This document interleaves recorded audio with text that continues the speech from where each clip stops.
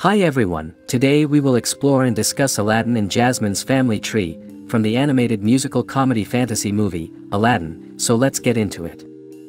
Princess Jasmine, she is the princess of Agrabah, she is strong-willed, independent and rebellious, as a princess she was forbidden to leave the palace walls until she met Aladdin, which eventually changed her whole life. Aladdin is optimistic and charming, who survived by stealing the food with his sidekick monkey, Abu, he met Jasmine in a marketplace, when she sneak out from the palace to explore the city, and later in the movie, they got married.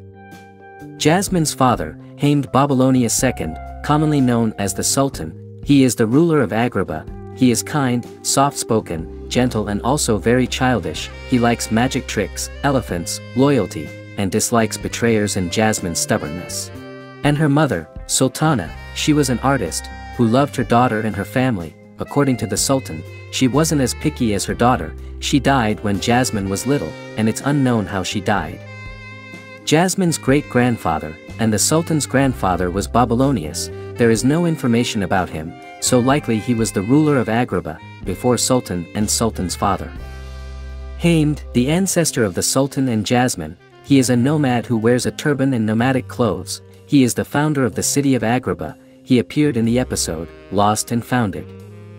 Kilim, he was the ancestor of the Sultan and Jasmine, he appeared in the episode, armored and dangerous, he was a feared warrior with an invincible armor, many tried to kill him but all failed, after he died his spirit possessed the armor. Jasmine has a cousin, named Sharma, it is unknown whether she is her paternal or maternal cousin, she is a schoolteacher at the Royal Academy, who is stressed out by her job, and her unruly pupils.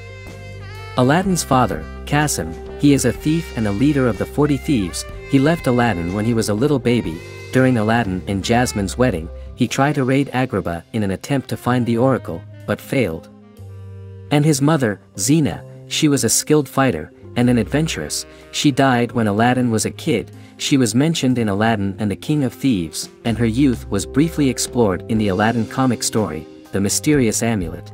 Aladdin has a uncle, named Bian Yerbak, it's unknown whether he is from his mother's side or from his father's side, he looks identical to Aladdin, his goal was to see if the palace is to his liking, and to start a rebellion.